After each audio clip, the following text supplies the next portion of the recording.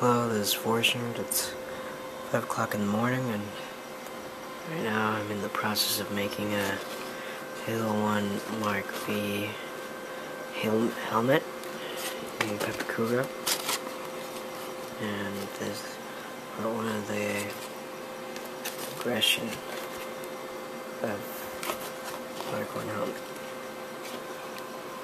Very just got done working on the uh, top part here inside video. Yeah, and let's see. I add lights on the edges here and holes.